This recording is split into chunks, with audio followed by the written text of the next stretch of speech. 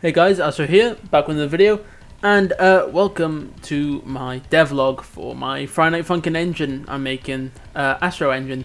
So at the moment, uh, I have recently added in two uh, new UI stuff.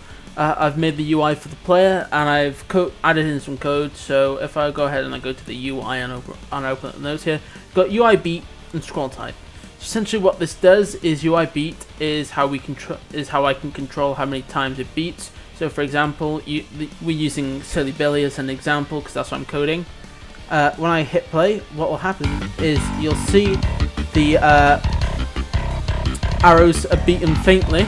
Uh, I can change the values by here for what I want, but I found 1.27. The presets work well enough and I've also got scroll type and how what this does is this sets the arrows to either down scroll, middle scroll or up scroll. So for example if I disabled uh, that and I checked is up scroll and I hit play uh, the arrows are going to go up into the up scroll position whenever it loads. See? And now from my prior experience uh, middle scroll seemingly doesn't work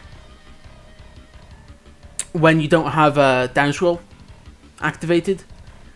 So um, I think that's how you do it. Wait, no, my bad. Yeah, it's got to be singular. So what middle scroll does is it takes the down scroll preset uh, position and it just goes ahead and puts it centered in the middle of the screen. I've also uh, mocked up a little animation for Boyfriend. Um, yeah, so uh, if you, I'll take you guys through a little bit of the code for those of you that want to see it. So uh, we'll go through the UI beat uh, code first.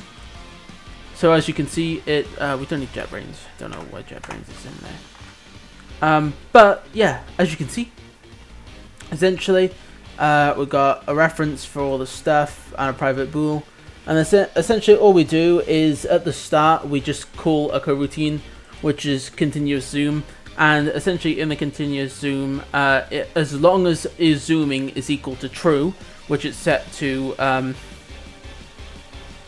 uh, on start, as long as it's equal to true, uh, what it does is it zooms in, waits for however long the delay is. So in our so in base case, 0.25 seconds, zooms out, and then waits. And since this is a while loop, it'll keep executing as long as uh, as long as it's as, as long as continuous zoom is being called.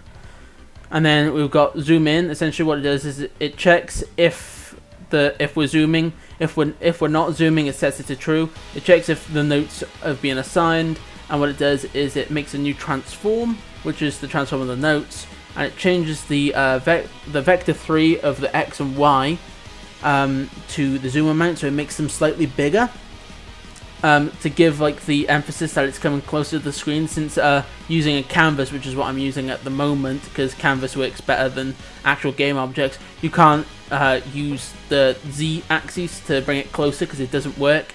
And then essentially uh, it just um, checks the elapsed time and changes the uh, what's it called arrows. Does the same for zoom out. And that's that for the UI beat And then, what's it called? Uh, inside of our scroll type here, if we go ahead and open it up, why am I using visual scripting? I have no idea. Uh, then inside of here, um, inside of a scroll type, it checks for the game object and it just has um, uh, three bools and a default Y, which is uh, essentially what happens is uh, it sets the arrows to this Y position of 210 which inside of Unity is just a little bit larger than the zero axis, so it's about 10 on the y axis. And then what it does is um, here we've got a little bit of math for the middle scroll. So for middle scroll X, what it does is it gets the uh, exact position of down scroll and then minuses, uh, when it gets the target position that we need for the middle scroll and minuses it away from uh, the down scroll position so it can get into a actual position. And then basically we've got uh, three if statements for each uh, scroll type and essentially all they do is they just modify the y value depending on what it is. So for up scroll it modifies the y, the y value by 300, For middle scroll, it modifies the Y value by minus 134, and modifies the X position with middle scroll X, and then for down scroll, it modifies the Y position by minus 134. And uh, yeah, that's all the code I've done so far. So if you guys do want to see more coding videos or stuff like that, or like watch me make a FNAF game or something like that, let me do let me know. Uh, yeah, but with that said, I'll see you all in the next video. Astronomical, out.